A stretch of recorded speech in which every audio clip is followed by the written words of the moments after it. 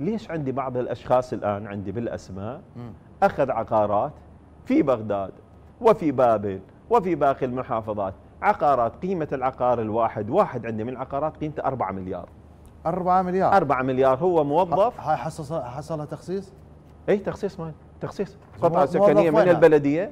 وين موظف؟ موظف بالمحافظة موظف في أحد دوائر ال- ال- الدولة الآن الموجودة. يأخذ مهما كانت صفته الوظيفية حتى لو كان نائب.